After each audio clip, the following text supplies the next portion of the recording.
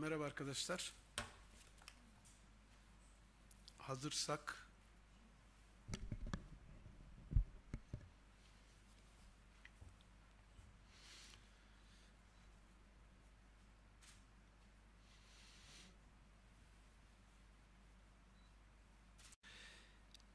Değerli basın emekçileri, bugün basın toplantımızı işaret dili tercümanımızla birlikte yapacağız. Çünkü Türkiye'de 3 milyon işitme engelli yani sağırlar var ve bunların önemli bir bölümü de eğitimden yoksun. Dolayısıyla eğitimin sorunlarını konuşurken toplumun her kesiminin duyabileceği ve anlayabileceği bir çalışmayı yapmak zorundayız. Bugün ayrıca Milli Eğitim Bakanı Sayın Ziya Selçuk'un 24 ayını doldurmaya bir günü kaldı. 10 Haziran 10 Temmuz 2018'de göreve başlamıştı. Yarın 10 Temmuz'da e, Sayın Ziya Selçuk'un bakanlıktaki 24 ayı dolacak.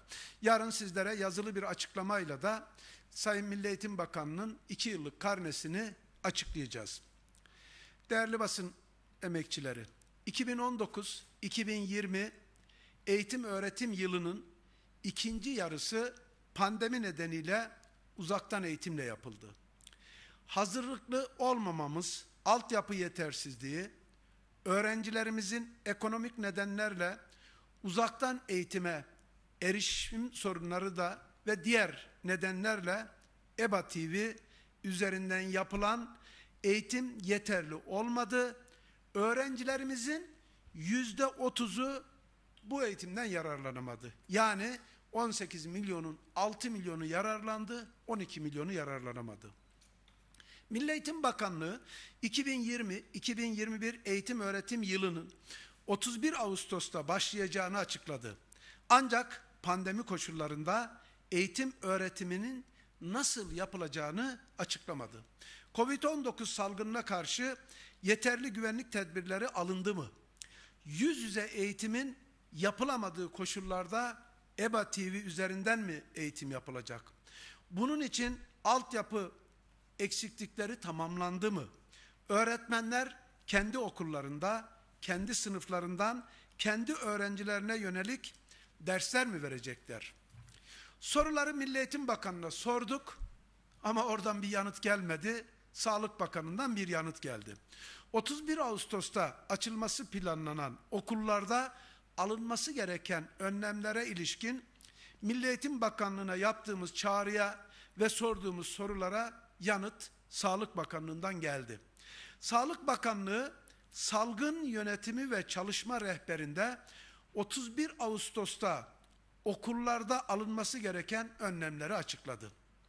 Açıklanan önlemlere göre okullardaki tüm sorumluluk velilerin üzerine yüklenerek bir taahhütname imzalatılıyor. Öğrenci ve öğretmenlere maske takma şartı getiriliyor. Okul girişlerinde, sınıflarda, koridorlarda el el antiseptiği bulundurulacağı, temassız ateş ölçer ve maske olacağı belirtiliyor. Okul içerisinde bulunacak kişi sayısı öğrenci ve öğretmenler de dahil 4 metrekareye bir kişi düşecek şekilde düzenleneceği, sınıf düzeni bir metre sosyal mesafe olacak şekilde yapılacağı açıkladı. Biliyorsunuz Dünya Sağlık Örgütü sosyal mesafeyi iki metre olarak tanımlıyor. Türkiye'deki bilim kurulu sosyal mesafeyi bir buçuk metre olarak tanımlıyor ama milli eğitimde bu uygulama bir metreye inmiş. Milli Eğitim Bakanlığı'nın mevcut bütçesiyle açıklanan tedbirlerin nasıl karşılanacağı, ek bütçe verilip verilmeyeceği, öğretmen, okul ve derslik ihtiyaçlarının nasıl karşılanacağı konusunda bir açıklama yapılmadı. Milli Eğitim Bakanı Ziya Selçuk da şu ana kadar ben bu bütçeyle tüm bu tedbirleri nasıl alacağım demedi. Saray hükümetinin başından da bu konuda bir açıklama gelmedi. Konuya ilişkin Türkiye Büyük Millet Meclisi'nde Milli Eğitim Bakanı Ziya Selçuk tarafından yanıtlanması için bir soru önergesi verdik. Kaç öğrencimizin 2020-2021 eğitim öğretim yılında eğitime başlayacağını, toplam olarak okullarımızda kaç metrekare sınıfın olduğu, kaç dersle ihtiyaç olduğu, ek bütçe talep edil, edilip edilmediğini, öğretmen atamasının yapılıp yapılmayacağını sorduk. Ancak soru önergemize bu zamana kadar bir yanıt alamadık. Bu teknoloji çağında Milli Eğitim Bakanlığı kendi inisiyatifindeki öğretmen, öğrenci, okul ve derslik sayısını bir yıldır açıklayamıyor. Bir yıldır. Teknolojiyi çok iyi kullandığını bildiğimiz, sosyal medyayı çok iyi kullandığını bildiğimiz Sayın Ziya Selçuk, kendi inisiyatifindeki okulların, dersliklerin, öğretmenin ve öğrenci sayılarını bir yıldır ne yazık ki açıklamıyor. Biz de değerlendirmemizi Milli Eğitim Bakanlığı'nın açıkladığı örgün eğitim 2018-2019 verilerine göre yapacağız. Türkiye'de örgün eğitim alanı olarak okul öncesi eğitim, ilk öğretim ve orta öğretim düzeyinde toplam 18 milyon 108 bin 806 öğrenci bulunmaktadır. 860 öğrenci bulunmaktadır. Öğrencilerin 15 milyon 88 bin 592 resmi, 1 milyon 440 bin 577'si özel, 1 milyon 579 bin 691 açık öğretim kurumlarında okuyor. Bunların içerisinde 1 milyon 564 bin 813'ü okul öncesi eğitimde, 5 milyon 267 bin 378'i ilkokulda, 5 milyon 627 bin 75'i ortaokulda, 5 milyon 649 bin 594'ü orta öğretimde bulunuyor. Yani liselerde. Liselerdeki ayrımda şu şekilde 3 milyon 250 bin 334'ü genel liselerde eğitim görüyor. 1 milyon 793 bin 391'i mesleki ve teknik liselerde 605 bin 869'u da İmam Hatip liselerinde eğitim alıyor. 2018-2019 eğitim öğretim yılı rakamlarına göre örgün eğitim kurumlarında görev yapan 1 milyon 77 bin 307 öğretmenimiz var. Öğretmenlerin 907 bin 567'si resmi okullarda, 169 bin 740'ı ise özel okullarda görev yapıyor. Öğretmenlerden 51.143'ü okul öncesi eğitimde, 300.732'si ilkokulda, 354.198'i ortaokulda, 371.234'ü ise orta öğretimde çalışmakta. Örgün eğitimde ise 66.849 okulumuz var. Bunun 54.036'sı resmi, 12.809'u özel, 4'ü ise açık öğretim okulu. 10.669'u okul öncesi, okullara göre ayrımı da, 24.739'u ilkokul, 18.935'i ise ortaokul olarak derslik olarak görev yapıyor. 12.506 orta öğretim kademesinde öğretmenimiz de görev yapıyor.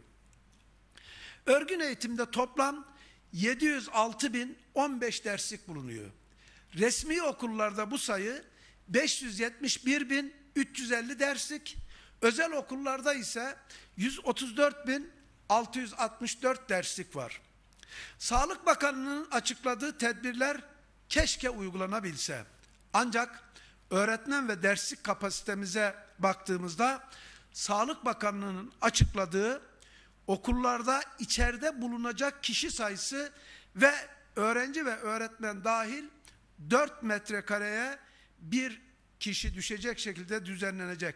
Sınıf düzeni 1 metre sosyal mesafe olarak şekillenecek açıklamasını yapmış. Keşke bu açıklamaya uygun yapı olsa. Türkiye genelinde ortalama bir hesap yaptığımızda 18 milyon 108 bin 860 öğrenci için toplam 706 bin 15 dersli, dersliğimiz bulunuyor. Bu resmi rakamlar. Her derste ortalama 26 öğrenci düşüyor. Bazı yerlerde bu sayı 50'yi, 60'ı, 45'i de buluyor.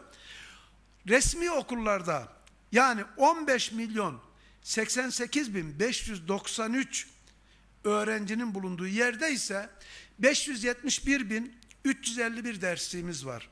Burada da ortalama her derse 27 öğrenci düşüyor.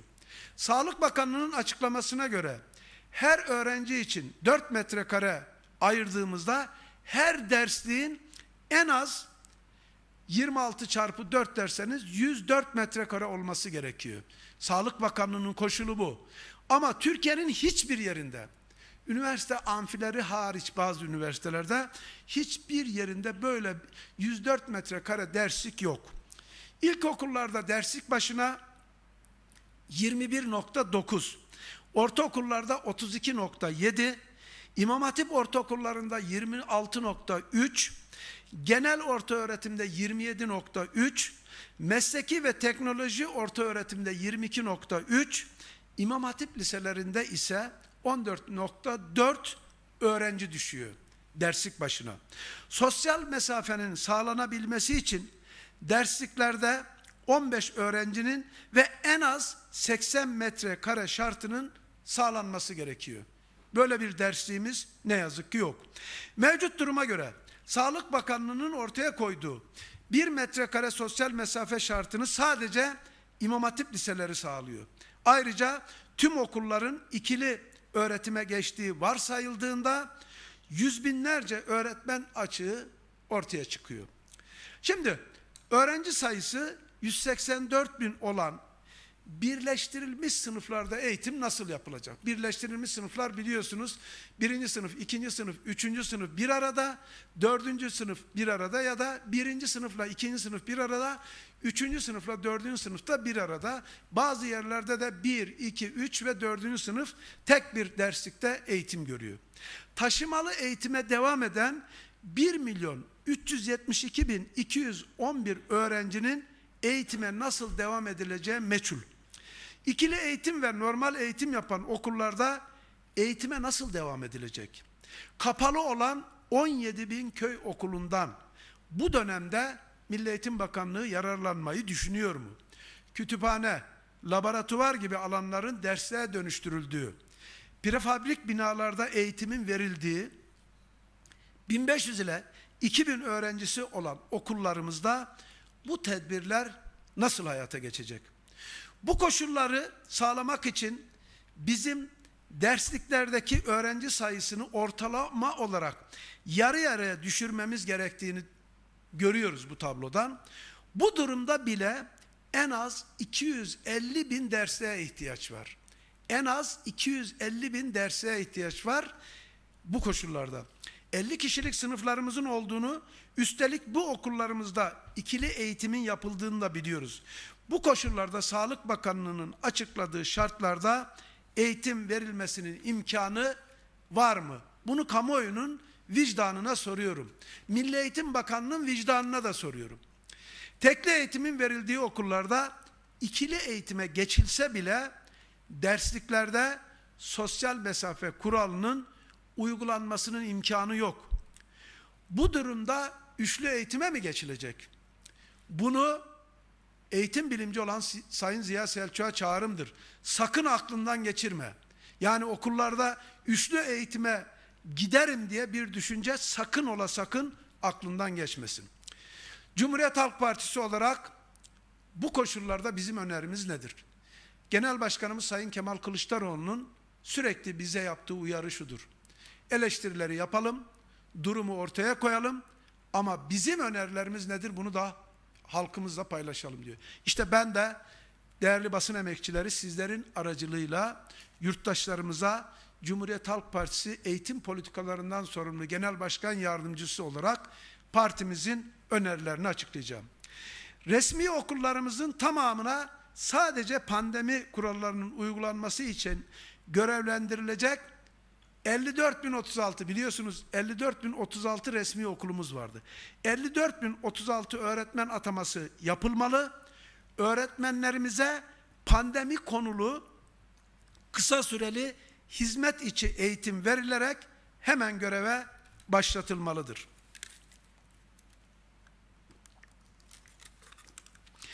Okullarda ikili eğitime geçilmesi durumunda ve yeni dersliklere eğitime başlanması halinde acil öğretmen ihtiyacımız en az 250 bine çıkacağını öngörüyoruz. Bu ihtiyaca göre öğretmen atamasının hızla yapılması gerekiyor. 600 bin atanmayan öğretmen var. 250 engelli öğretmen atama bekliyor. Yaklaşık 5 bin ücretli öğretmen hak ettiği halde atanmıyor. Bir de atanmayan 600 bin öğretmen var. Bunların içerisinden hızla koşulları uygun olan 250 bin öğretmenin ataması yapılması lazım. Öncelikli olarak okulların temizliği ve hijyenik ortamın sağlanabilmesi için mutlaka ve mutlaka her okulda ihtiyaç oranında temizlik elemanı görevlendirilmesi gerekiyor. İşte bu nedenlerdir ki acil olarak Milli Eğitim Bakanlığı saray hükümetinin kuşa çevirdiği bütçesinin artırılması için Türkiye Büyük Millet Meclisi'nden talepte bulunması gerekiyor. Meslek liselerinin boş kalan sınıfları bu süreçte mutlaka kullanılmalıdır. Özellikle de İmam Hatip liseleri ve ortaokullarında boş kalan derslikler olduğunu biliyoruz. Bu okulların dersliklerinin kullanılması yoluna mutlaka gidilmelidir. Uygun kamu binaları derslik olarak kullanılmalıdır. Uygun kamu binaları bulunamıyorsa kiralama yoluna giderek derslik ihtiyacı karşılanmalıdır. Bu süreçte kapalı tutulan 17 bin köy okulu eğitim ve öğretime açılarak bu okullarda eğitim yapılabilir. Bunlar yapılamayacaksa, bunları yapmaya kudretleri yoksa, saray iktidarı buna izin vermiyorsa, öğrencilerin okullarından ve arkadaşlarından uzaklaştırılmama kaydıyla okul bahçelerine prefabrik derslikler kurulması da alternatif çözümlerden biri olarak değerlendirilebilir.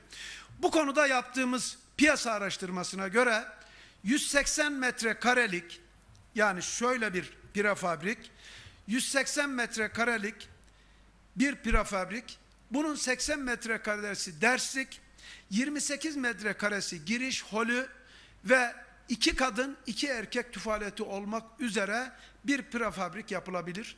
Bununla ilgili çeşitli firmalardan teklifler aldık. Bunun bir maliyeti nedir diye.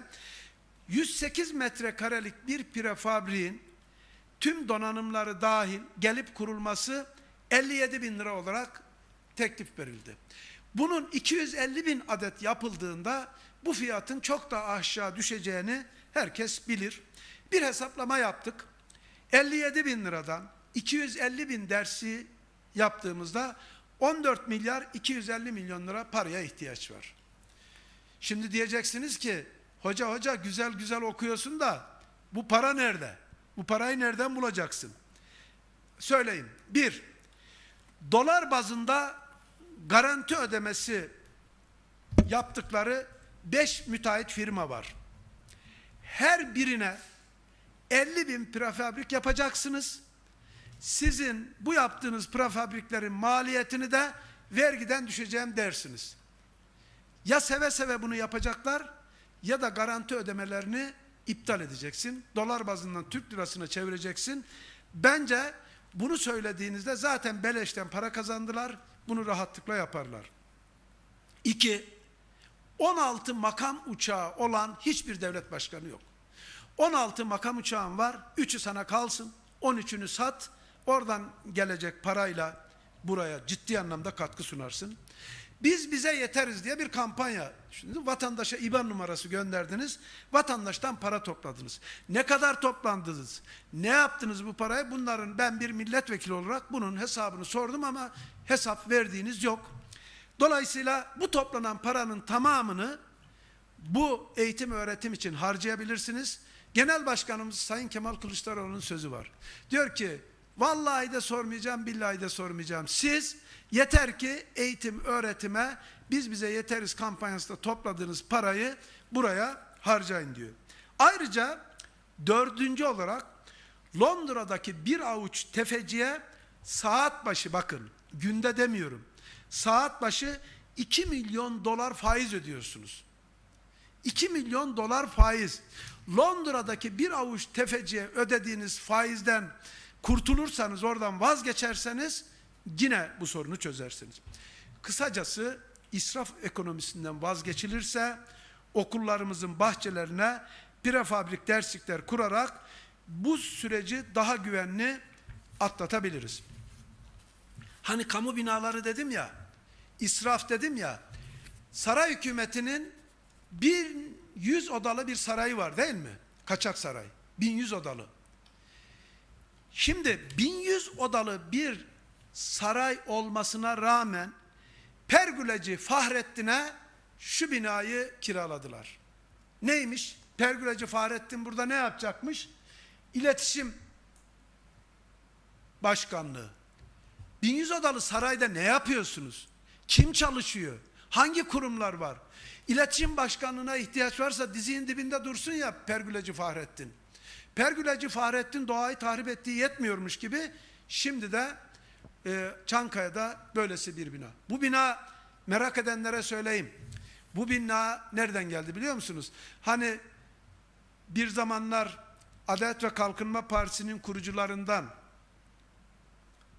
Manisa milletvekili.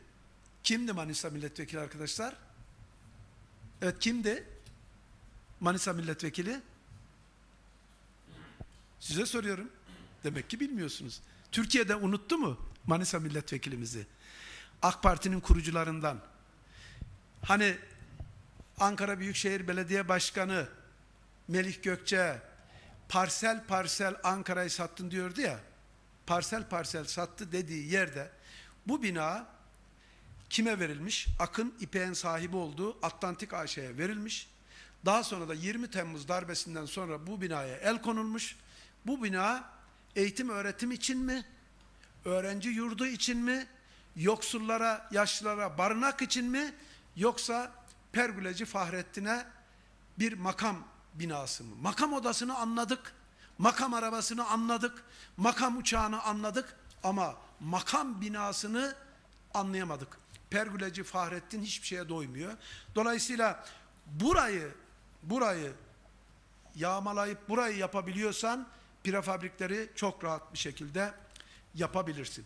Pandeminin ne zaman biteceği öngörülerimiz arasında değil. Kalıcı önlemler almamız gerekiyor. Eğitimimiz için büyük bir avantaj elde etmemiz gerekiyor. Milli Eğitim Bakanı Sayın Ziya Selçuk biraz önce bir açıklama yaptı. Biz basın toplantısından önce. Belli ki takip ediyor. Basın toplantısı yapacaklar ben ön alayım dedi. Açıklaması şöyle. Diyor ki bu takvimi bir zorunluluk nedeniyle açıkladım. Yasal bir zorunluluk nedeniyle. Önceden hazırlıklar yapsın diye açıkladım. Teknik koşulların yerine getirilip getirilemeyeceği, pandemi sürecinin eğitim öğretime bir hafta kala koşullarının ne olacağını bilmiyoruz. Bir hafta kala eğitim öğretime başlanacak mı başlanmayacak mı o zaman açıklayacağım diyor. Allah'tan kork ya. Vatandaşı şamar olanına dönderdiniz. Öğrencileri LGS'de, YKS'de perişan ettin, yetmiyor. Şimdi de tüm öğrencileri ve öğrenci velilerini eğitim öğretimin açılıp açılmayacağına ilişkin 31 Ağustos'a yani 24 Ağustos'ta buna karar verebiliriz diyor. Eğer bir takvim açıklıyorsan o takvimin öngördüğü koşulları yerine getirirsin. Dersin ki şu koşullar yerine getirilirse biz bunu yapacağız. Eğer bu koşulları bu koşulları saray hükümeti yerine getirmeyecekse bilim kurulunun ve sağlık bakanlığının söylediklerini Milli Eğitim Bakanı olarak benim yapmam mümkün değil diye açıklayacaksın. Biz o zaman sana saygı duyarız. Deriz ki elinde bir olanak yok. Ben bir milletvekili olarak diyorum ki hem de Türkiye Büyük Millet Meclisi'nde Milli Eğitim, Kültür, Gençlik ve Spor Komisyonu üyesi ve Cumhuriyet Halk Partisi'nin bu komisyondaki sözcüsü olarak diyorum ki getir Türkiye Büyük Millet Meclisi'ne 138 milletvekiliyle Milli Eğitim bütçesini artıralım. Millet İttifakı'nın belediyeleri eğer siz bunları yapmazsanız okulların dezenfekte edilmesi, öğrencilerin dezenfektan ve maske ihtiyacı konusunda her türlü desteğe vermeye hazır olduğunu bir kez daha kamuoyuyla paylaşıyorum. Ekmek dağıtımımıza engel oldunuz. Yoksullara yardım götürmemize engel oldunuz. Maske dağıtımımıza engel oldunuz. Ama bu engellerinizi aşarak belediye başkanlarımız tarih yazdılar. Şimdi de eğer Milletin Bakanı Sayın Ziya Selçuk bu konularda ihtiyaç duyarsan Millet İttifakı'nın belediye başkanları göreve hazırdır. Çünkü bizim geleceğimiz çocuklarımızdır. Çocuklarımızın geleceği için her türlü fedakarlığı yaparız.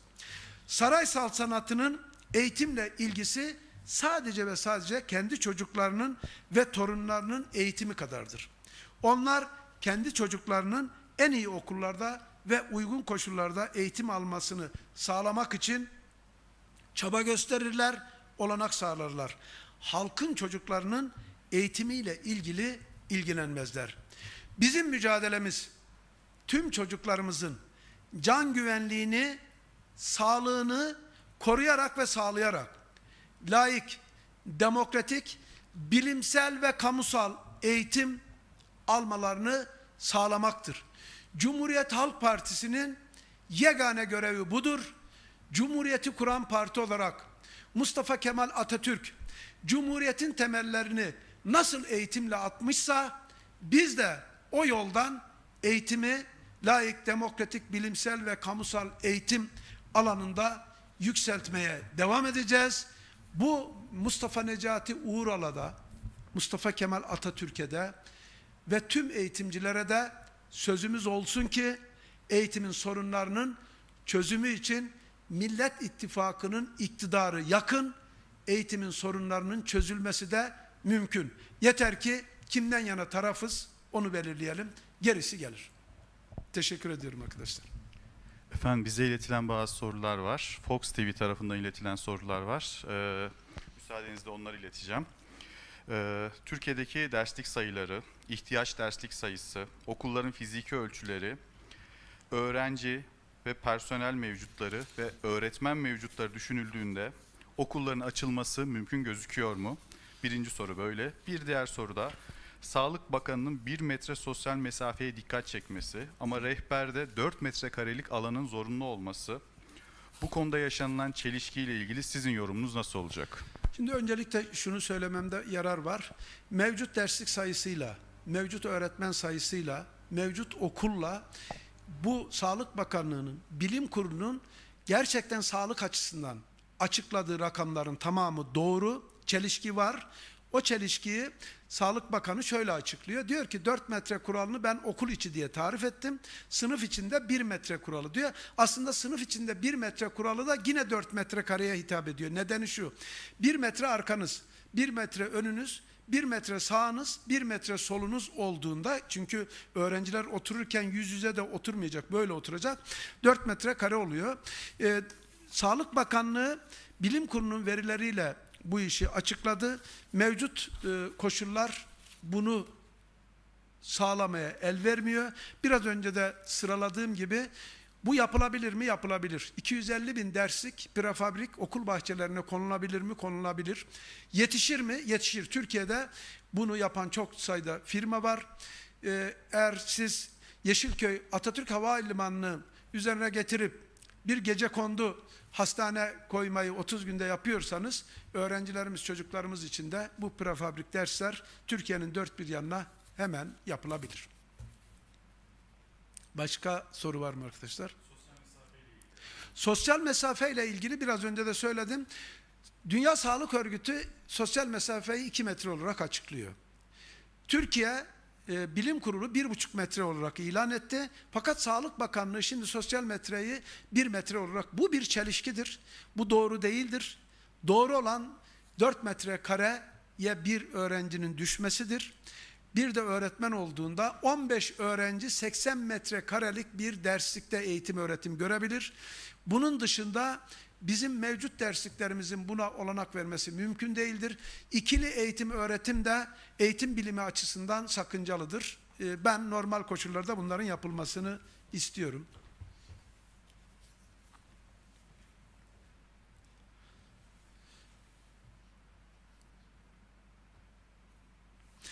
Şimdi e, bir yeni gelen bir üzücü haberimiz var. patlayıcıların intika, e, int, intika, intikalleri sırasında e, yine patlama meydana gelmiş e, fişek havai fişek fabrikasında Hendek'teki patlamada 3 şehidimiz var, 6 yaralımız var. Ben şehitlerimize Allah'tan rahmet diliyorum. Yakınlarına başsağlığı diliyorum. Yaralılara da acil şifalar diliyorum. Bir an önce e, bu fabrikanın bu hale gelmesinden sorumlu olanların açığa çıkartılması gerekir. Dün Cumhuriyet Halk Partisi olarak parlamentoya bir araştırma önergesi verdik. Ne yazık ki araştırma önergemiz Adalet ve Kalkınma Partisi ile Milliyetçi Hareket Partisi tarafından reddedildi. Reddedilmenin sonucu arkasından gelen 3 şehit 6 yaralı. Şimdi vicdanlarınız rahat mı?